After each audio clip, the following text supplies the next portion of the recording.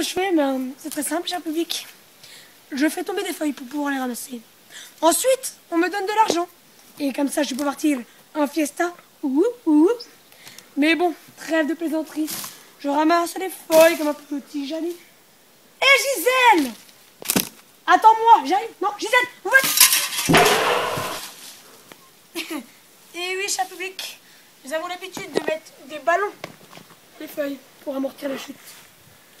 Bon, maintenant, je vais te montrer ce qu'est une vraie jardinerie. Non, encore mieux, je vais te montrer un sport. Le rouler-boulet dans les feuilles mortes. Et Gisèle, c'est pour toi que je fais ça. Et aussi pour vous.